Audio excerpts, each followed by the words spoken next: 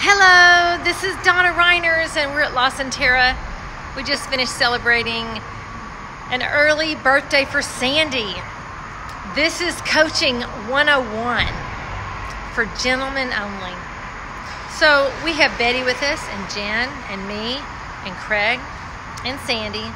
And Craig has Betty in front of her on the walker, and he's pushing Betty through the door. And I wish I could show you. Here's the door, and there's a gentleman right here. There's a gentleman right here. Right here. I mean, right here. And there's another gentleman right here, and here's the door. And this gentleman and this gentleman are talking. They see me standing here holding the door. They see it.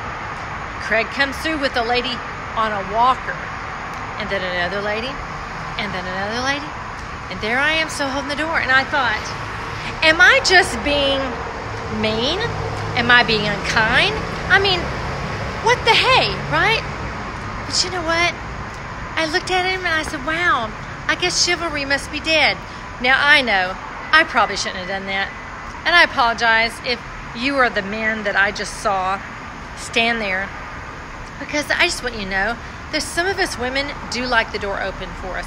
And when you have someone who is an invalid hmm, that you're passing through with, it would be so kind and and so um, thoughtful, and it would look so good and give you so much major kudos if you gentlemen would hold the door open for the women, and especially perhaps a woman who's on a walker being pushed by another man.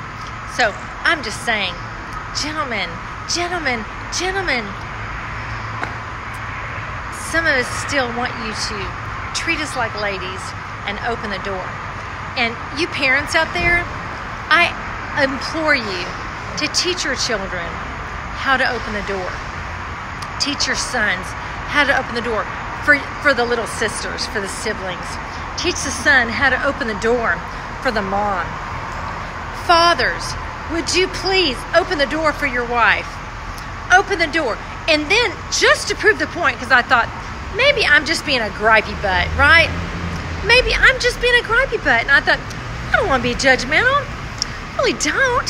But you know, there's like three kinds of judge, and one of them is just an analyzing, looking at something, okay? So I was analyzing objectively, looking at something very specific. I wasn't thinking, you idiot, although I wanted to. I did refrain. So this is the thing. I implore you teach your children how to open the door for the elderly, for women, and teach them manners. So, to prove a point, I come out into the garage because I'm on my way back to the car we're on our way back. I'm not thinking anything. And what do we witness? We witness a man who opens the door for his wife and then goes back around and opens the door for himself and gets in. And I just had to go talk to him. I'm like, oh my gosh, who are you? Who taught you this? Wow. He's like, no, chivalry's not dead. And you know what? I'd say he was probably in his early 40s, maybe mid 30s. And he's like, Oh, yes, ma'am.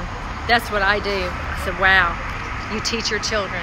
Anyway, blessings today if you happen to see this. And, you know, come on, guys. Let's attempt to open the doors for people. You know? Blessings. Goodbye.